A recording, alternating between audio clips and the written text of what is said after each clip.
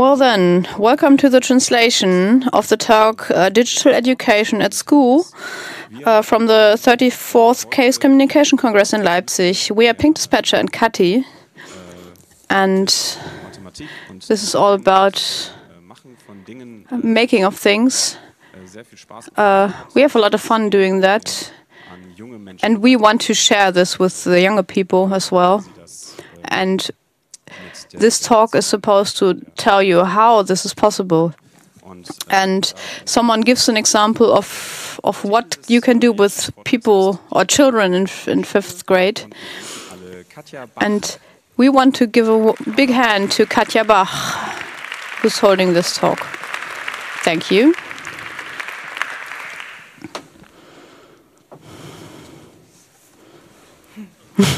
okay. Okay.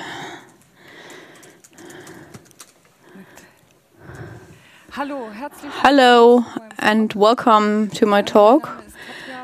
My name is Katja and I want to tell you something about digital education at school.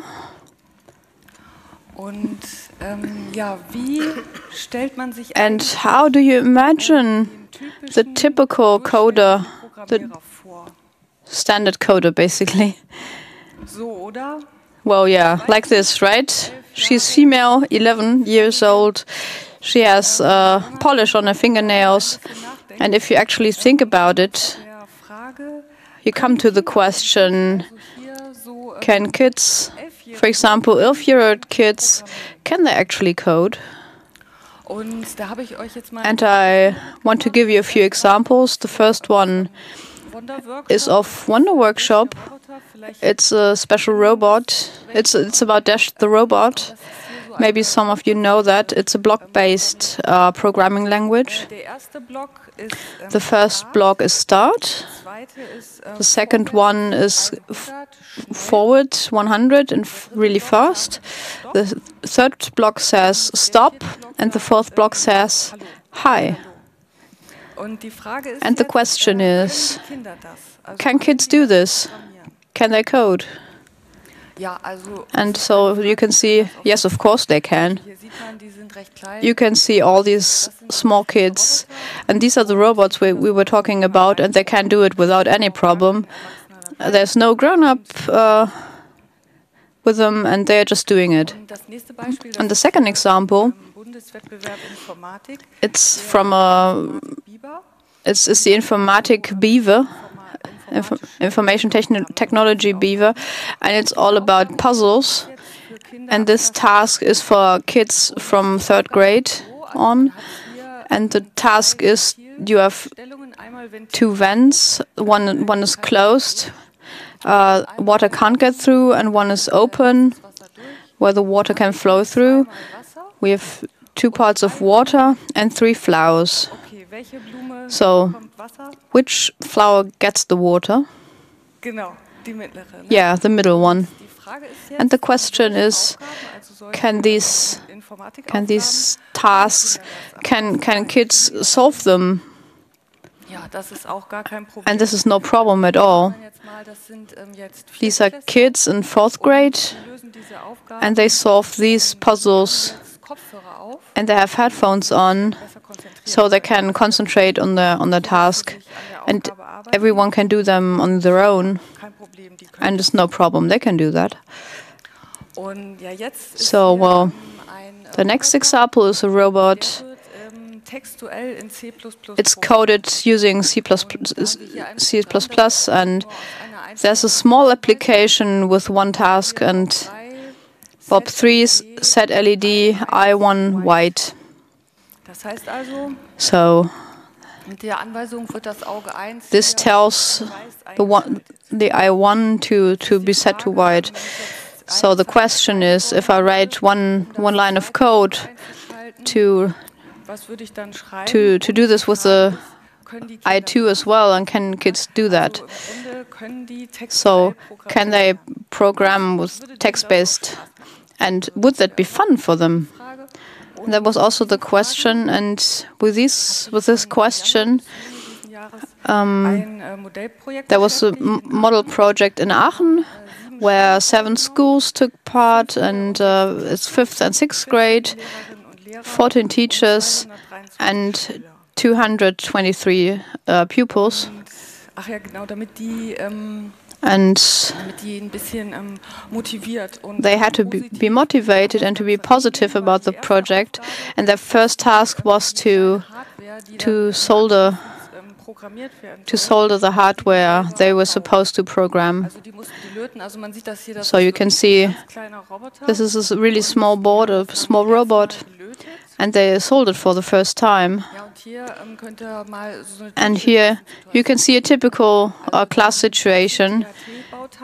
They had uh, 13 THT parts, and they they joined in two people for one project, which was quite good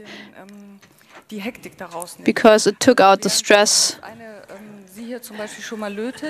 And if you're soldering this one is soldering and the other one can put put parts in and check if it's on the right spot and on the right side and everything. And that worked out pretty well.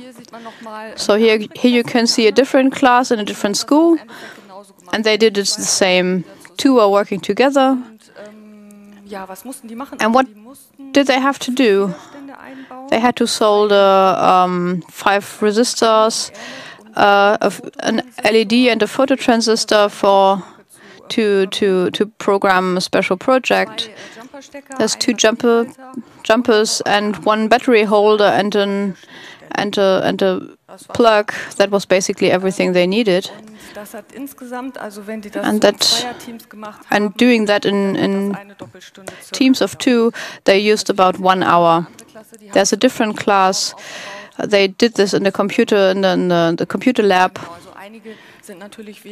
Some are faster, and some some took the next hours as well.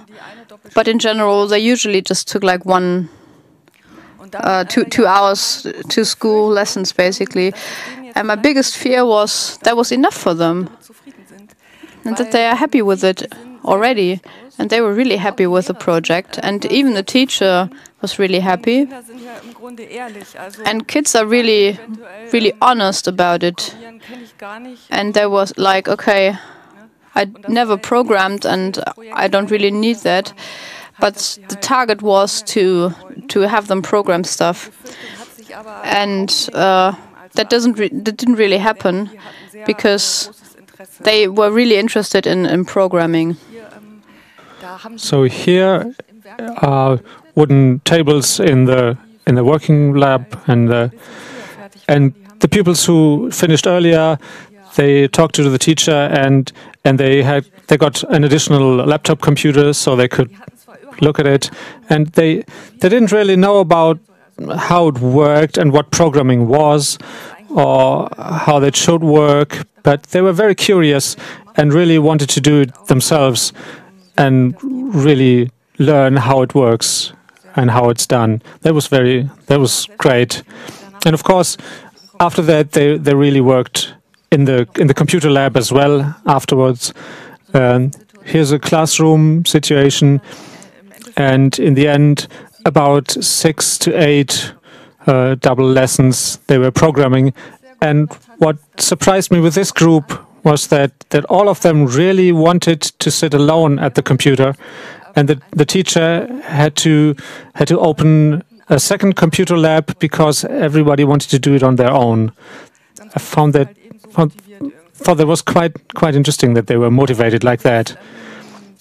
And so, how do you and you imagine they're they're small pupils, and what did they do really? What exactly have they done? And that I wanted to show you Uh, so you can imagine, have get a better picture of, of what they did.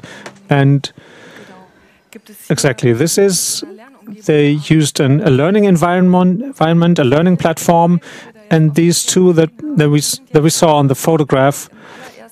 And here's the very first introduction, and in this sixth sixth part, and they already learned that there's a setup function where where stuff is executed only once, that's in there. And now they are learning and they they shall they shall make one eye uh, turn on and off regularly, just blinking, and and they are learning about the loop function. And so things are executed over and over again so that it blinks, turns on and off again and again. And they learn about the delay function, the delay 500. It's the instruction that that the controller of the robot waits 500 milliseconds. And we can take a look at that. So the program does the following.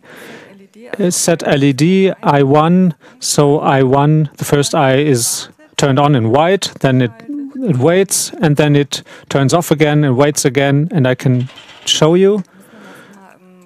And this has to be compiled, and then and then it should be okay. And here you can see that a little blinking light there. And the task was to try different values, and that's exactly the point where the two girls who discussed about that, who discussed that, and I walked over to them, and I already had the the prejudice that what are they talking about? Are they really talking about the program? I, I really couldn't imagine that, and and they asked me, what what do you think better? What do you think is better, delay 50 or delay 500? And I thought, uh, um, well, what what do I have? What, what's better? Um, who knows? It, it all depends what I want to do. And I thought they didn't really understand it.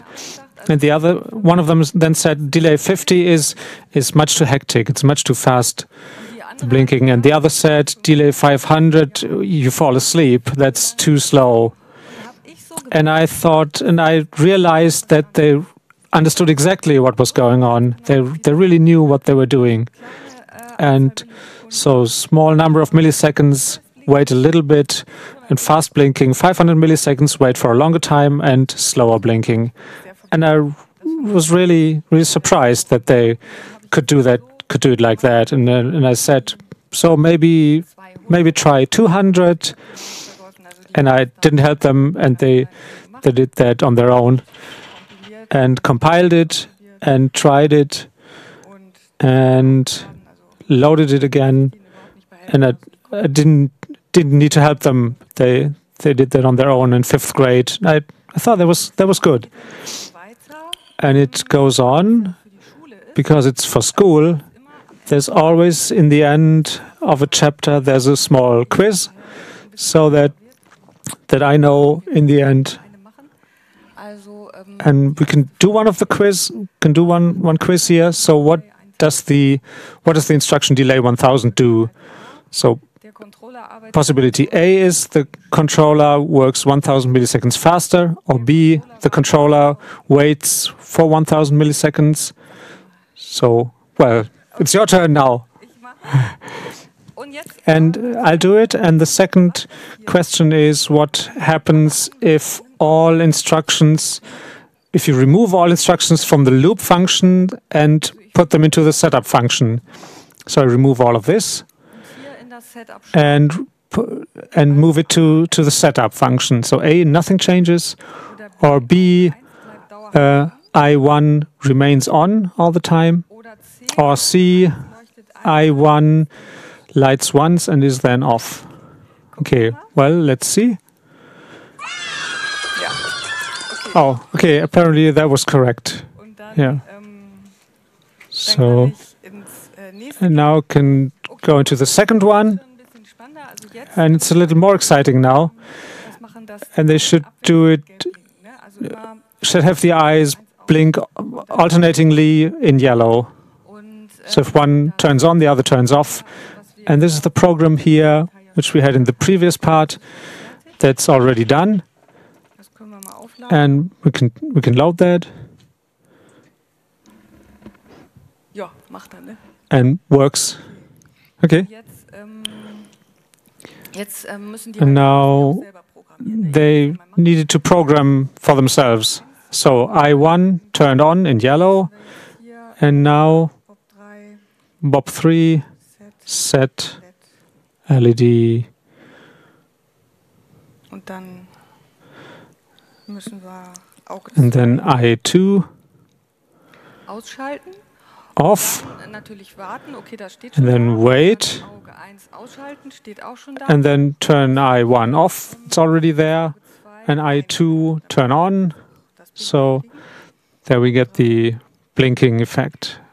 Bob 3, set LED. So.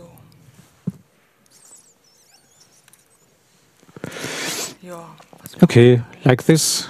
Let's try that. Machen wir mal in Orange. Okay. Let's do it in orange.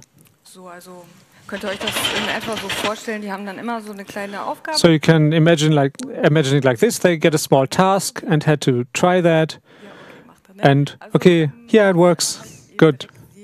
And they could see immediately if it worked or not. And what they really liked, and I can show you, Da kann man auch noch verschiedene Farben there you can select different colors. Meinetwegen hier, jetzt können wir auch mal For example, let's let's try a different color. dann machen wir mal Cyan Let's try cyan, und das andere Mal and the other uh, maybe purple. Können wir mal gucken. Let's just see. And okay. Ähm, okay, so konnte ich yeah. das dann halt, So that's the way they could do it. And uh, now change the program code so that it blinks faster. Wait, maybe I can do that as well.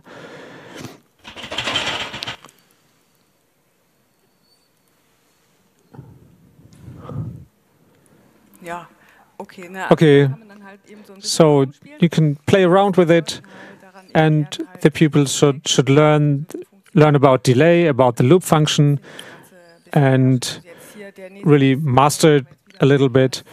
And the next task is that it blinks a bit slower again. We don't do that now, but we can look at this at another interesting quiz here. What happens if in this program in line 4 Delay 2000 einfügen würden? you introduce a delay 2000 in line 4? Insert that. A, The blinking doesn't start because the compiler waits. B, B, das Programm kompiliert the program doesn't compile because it doesn't make any sense. Or C, the blinking starts after 2000 milliseconds. Or D, nach jedem Durchlauf der Loop after Every execution of the loop function, it waits for 2000 milliseconds. Okay, Also wer ist für A? so who votes for A? Okay, B, B? Anyone? C. C? Aha, okay. Machen And D? All right, let's let's try that then. Ja. Okay, Okay, There was- zufrieden. Ähm, loud cheers, and it's okay. jetzt ist Okay. Frage. Ähm, So the question is, eigentlich die Jungs? What do boys program? Ähm, And für Delay 50. Boys are not about not interested in delays, and boys are not interested in delay 500. Für Delay 5 Millionen. Boys are interested in delay 5 million. Yeah, that's right. Und was meint ihr? Also die tippen So what do you think? They type this in, they compile it, and transfer it to the device, and the rest of the hour, well, yeah, warten die dann. They are waiting. ist jetzt ein bisschen gemein. Also It's that was a bit so ganz ist mean, es jetzt auch nicht. actually. Also ich kann It's not like this. zeigen. Also wenn I can show you something. Ähm. There's more steps. Dann würden wir jetzt hier beim Intro 2 anfangen. We would start with the intro too, Und diese, dieses Programm hier, das mochten die and this Kinder auch gerne. application was really great for the kids. It, is it ähm, is true or false? Bob 3 jetzt mal Bob Wahrheit 3 is supposed to be uh, the finder of the truth, Da lernen die jetzt halt and the kids learn to use if-else tasks, kennen als Programmierstruktur. and it's a it's a completely new structure for them. Eine Bedingung drin, die dann immer And wird. There's stuff that's asked for. weil Bedingungen kennen die ja auch noch nicht. Ne? Und dann Well, they don't know about this yet, so die da halt erstmal hier Aufgabe 1 ist erstmal they are supposed to solve this and to try them out. Dann soll der If this condition is true, then the robot is supposed to be has green eyes. Sonst, dann soll and rot, die Augen rot machen. If not, uh, the eyes were supposed to be red.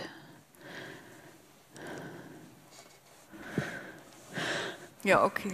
Macht er ähm. Oh yes, it Und ja, dann äh, lights lights up green, dann sollen sie mal eben hier and the tasks are like, for example, Wenn wir 1 gleich gleich dreimal eingeben, if this, if we set this to one equals equals three, let's see what it does. also ähm, genau, die Kinder, die fragen dann auch, Well, the kids are asking where this robot do- knows this from, das ist ganz gut, wenn man das denen dann erklärt, and you can explain dann ähm, kommen explain it, and you get some ähm, kind of little click moments. They're trying stuff out, of course. Zum Beispiel hier so einmal 1000 What's plus 3. times 2000?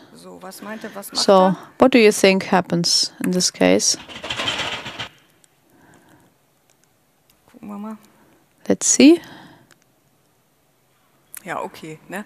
Also die ähm, probieren da halt. So they are trying stuff out. ähm, Not gleich ausprobieren. And they can can try different different stuff from the same cluster. einfach so testen, They can just try it and, and do whatever they want to do. Ja, dann sind da so Vorschläge, was man So mal there's examples what you can try, but they usually get this idea from themselves, what they want to try for themselves. Das mache ich jetzt nicht hier. Also So I, I, I won't do this now. And there's also a few questions that are asked and that have to be answered. I want to show you something else Was alle Kinder total gerne gemacht that most kids like. Da soll der ähm, wie so ein amerikanisches Polizeiauto blinken. They have have to to, to make to make a police car blink, Halt schon gelernt hatten, also hier uh, and they are supposed to use knowledge they already have, ähm, soll der noch am Bauch seine and it's supposed to light uh, certain LEDs to make it a little more spectacular. Äh, der zweite Teil von dem And the second part of the of the application, wird richtig eine For-Schleife verwendet. you have different loops, special loops.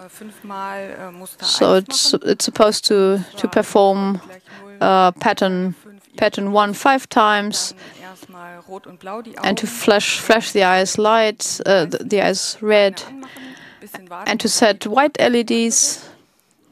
Ähm, ja, es gibt hier eben das, das I nicht, der macht das einfach fünfmal. Well, it hier ist dann performs this five times, and there's a different pattern. so ein bisschen. It's just like flashing. I can transfer this to my bob. As you can see, Ja, genau. Also der macht erst ähm, dieses eine Muster so it first makes the one pattern and then the other. Kinder halt, also was sie daran mögen oder was What kids like about this and what motivates them is that they can do them do it themselves. das sind immer diese You can see it here. It's always the same same functions. For example, the delay, and they learned about this, and I learned this, and they are thinking, okay, I can use this, Dem Lehrer oder to- dem Erwachsenen oder and they can tell the teacher or the or the parent, see, this is what I did, and I can change the colors. die sehr stolz And they are really proud of what they did. They're really proud of showing it off ihre eigenen, mit ihrer eigenen Leistung im Grunde. with their own knowledge and their own skills. Ja, da wir ähm, bei dem Modellprojekt ja jetzt So on this so viele Kinder, Model ähm, project, äh, so viele Kinder da hatten, die we had so many kids participating. ja im Grunde dieses ähm, blöde Vorurteil gibt, And there's the this äh, evil prejudice that coding and stuff is only only for for for kids interested in mathematics and physics. And we asked kids, and we wanted to know about äh, this. Machst du gerne Mathe in der So, do you really like mathematics at school? Hier von gar nicht bis, And also rot bis it's really grün, ja gern. More or less even Das hat so abgeschlossen. evenly. Uh, Und dann haben wir ähm, gefragt, and the other question was uh, how they liked the Bob project. They have they have two hours of, of soldering and and 12 hours of uh, of programming and this is what what it turned out to be fand ich ganz so this is this is really cool in my opinion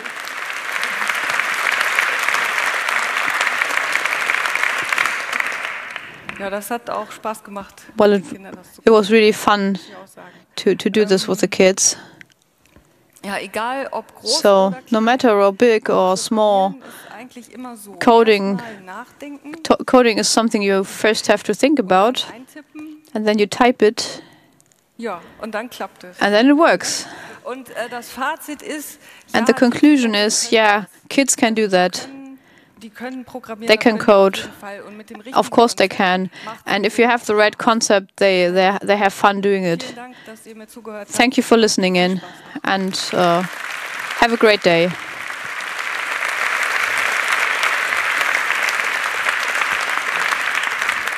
Ja, ganz lieben Dank, Katja. Oh yeah, thank you, Katja. It's a nice talk. Really, really interesting. And also interesting how to see uh, kids' eyes glowing. We have the opportunity to take some questions. We have four microphones in this hall, and there's already queues behind the microphones, and we start with microphone one. Hi. Hi. Katja.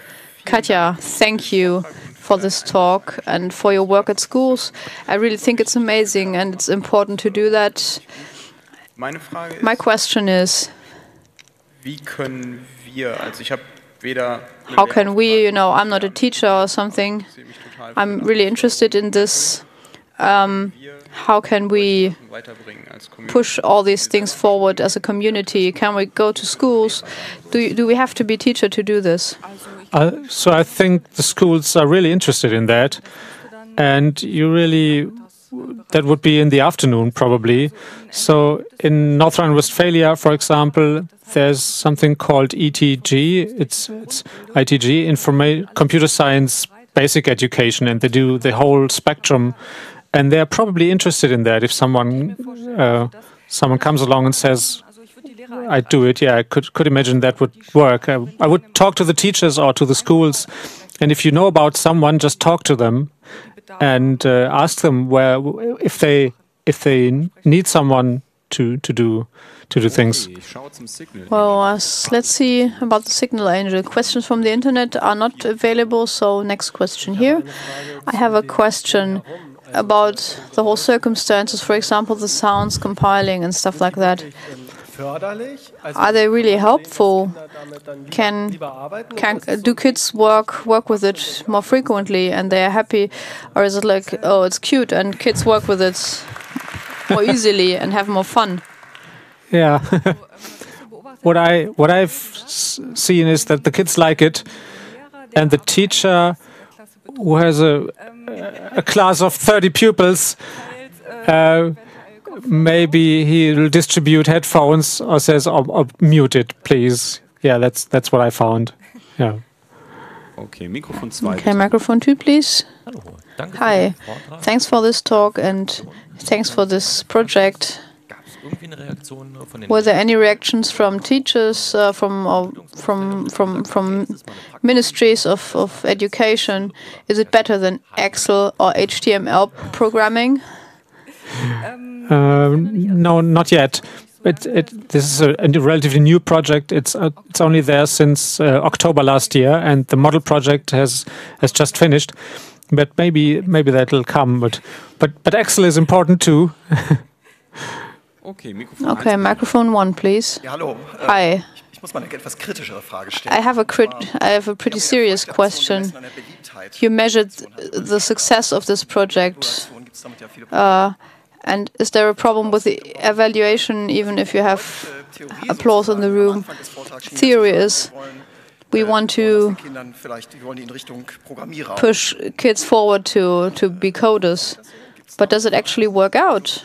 Are there any experiences besides all these trivial applications? So it's it's really the case that if you do it with 30 kids, you you probably won't have 30 computer science students in, at university. But but we tried it like this, and I would say maybe from the out of the thirty pupils, maybe ten uh, are really very interested in that, and and I found that's a, that's a pretty good pretty good ratio. One question from the internet. The internet wants to know how, how durable are these robots? How, how long do they survive? Well, really, they they shouldn't really be dropped on the floor. Maybe they fall down, and and I, I don't really know. I saw it once that that someone during soldering uh, did with the tweezers uh, picked off the eye, and it had to be repaired. And uh, well, but most of them really really worked, and they shouldn't really fall to the floor. Yeah. Mikrofon 4. Microphone 4, please. Thank you from my side. I have two short questions. Can you tell us something about the robot and the tool chain and the programming uh, structure? Where can we get this and what is it? And the second one is it's more practical question. The biggest problem, in my opinion, is that the pre prerequisites are really high. If you have 30 kids in a class, there's a technic te technological freak and someone who never has soldered. Um, and some some are, aren't done after after the first lessons. So how do you handle this, especially when you also have the teacher and some other people? Uh, maybe I answer the second question first. For me, it was uh, surprising to see that it is, as you say, some of them really were already started programming or are very advanced in their programming tasks, and the others are just beginning.